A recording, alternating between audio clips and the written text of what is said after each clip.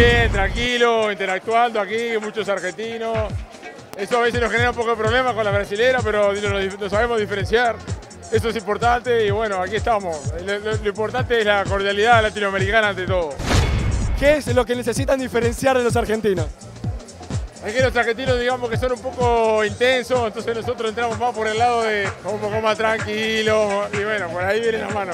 No, acá lo que la, la brasilera lo que pega en los primeros 10 segundos hay que hacerla reír.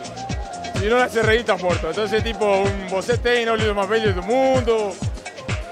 Está sauciña, una menina tan, tan bonita sauciña, qué cosa está fácil. Tenés mucha noche, parece. No, antes sí, estoy un poco retirado, pero bueno, ¿viste? uno se acuerda de, la- de- de las experiencias anteriores.